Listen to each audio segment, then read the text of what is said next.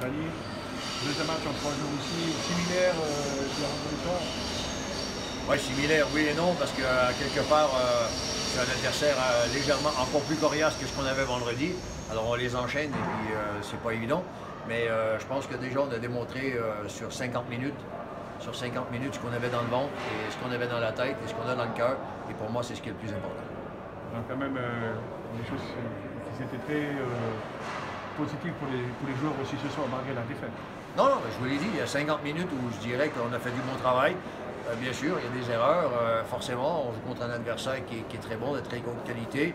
Euh, alors, les erreurs, on les paye cash, on a pu voir. Une chance de, de, Sierre d'un côté, on ne marque pas, ça part de l'autre côté, on le prend. C'est un, peu, un, peu, un peu le problème lorsqu'on joue contre des équipes avec un niveau de différence plus important.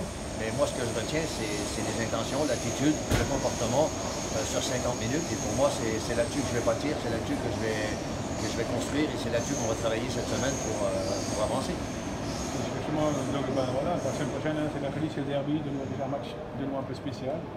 Ils sont tous spéciaux. Ça fait tellement longtemps qu'on joue au hockey qu'ils deviennent tous spéciaux. Mais c'est vrai que c'est un derby, c'est vrai que ça va être une belle fête de hockey.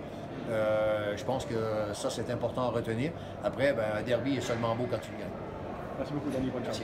Merci.